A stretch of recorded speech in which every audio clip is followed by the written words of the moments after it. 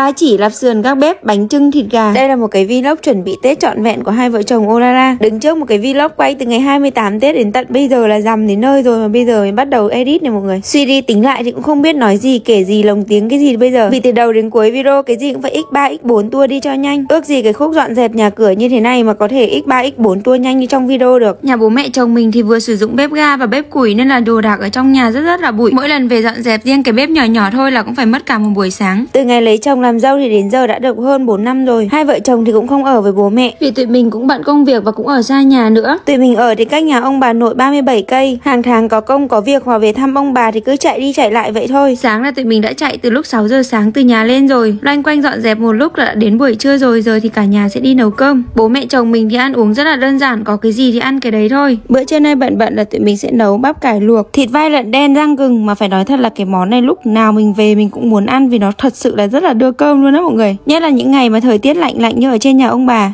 Wow, mọi người một đĩa rau thật là nóng hổi. Cái này là mới hái về thì quả bắp cải nó sẽ rất là ngọt.